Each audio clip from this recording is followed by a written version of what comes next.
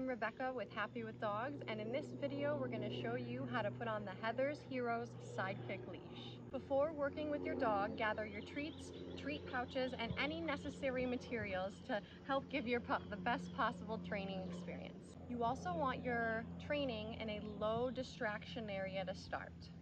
First, you're going to put the slip lead portion over your dog's head. You're gonna use a treat, put it in your hands, put it right to their nose, and put the slip leash over their head. Trade a treat for each step you take. Treat, nose, good. Trade. Next, find the S-ring and situate it underneath your dog's head. Then, connect the safety tab to your dog's regular buckle collar.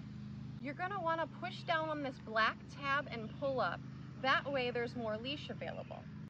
From the S-ring, you can pull the leash through to create a second loop. Then you can place it across your dog's muzzle, giving them a treat for even feeling the leash on their face. As soon as it touches, pull it off and reward. Good job! You wanna keep increasing the duration the dog has the nose piece on their muzzle.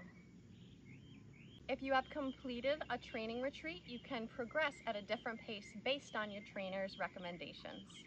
Once the leash is on the dog's muzzle and the dog is accepting it and happy about it, we can slide the black tab down to prevent it from falling off. We want it so that the nose piece is not falling off the dog. However, we want it loose enough that they can fully open their mouth and pants. We don't want any pressure. So you should always be able to fit a couple fingers underneath.